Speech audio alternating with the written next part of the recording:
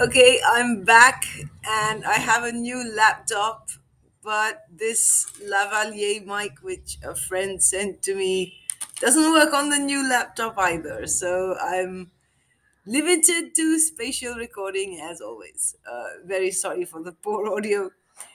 Um, okay, so I'm gonna. I last time in my last video I talked about the three rules of Hanyo Town, which are you must win, you must own, and you must never acknowledge pain.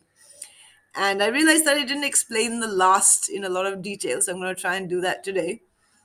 Um, pain is a complex un- uh, concept in the Hanyo world. Um, if you show it, then obviously you're not a winner because pain is undesirable. And if you have something undesirable, you are losing compared to those who don't have it.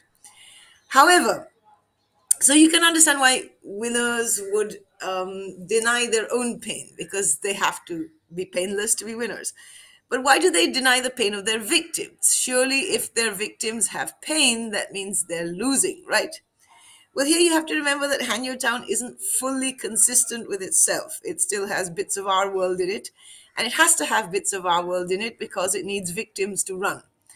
So, in our world, that is the anti-sense world, um, pain is a sign that something is wrong, and it's an opportunity for people to fix it and gain karma, which is the well, not exactly the currency; it's the measure of value in the anti-sense world. Um, so, pain in Hanyo Town, which is ninety percent Hanyo and ten percent anti-sense, uh, because of course victims have to be accommodated, otherwise there can't be any winners.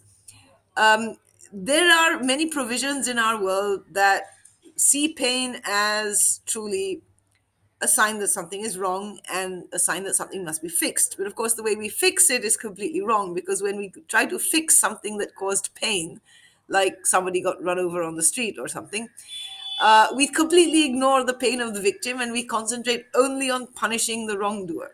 And the punishment of the wrongdoer has does absolutely no good to the victim. It is a completely separate process the wrongdoer is fined or is jailed or is both.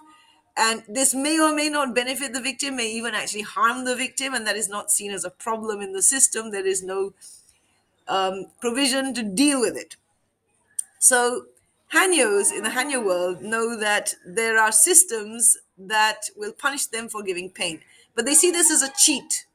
They see this as us meddling with the rules of their world and they want to remove it. They would prefer that in their world, pain did not attract punishment to the pain giver.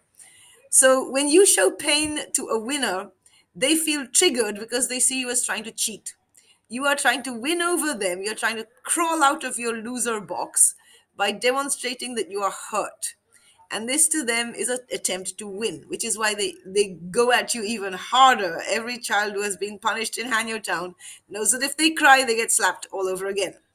So that is why. It's because they see the expression of pain as a sneaky attempt to win by victims.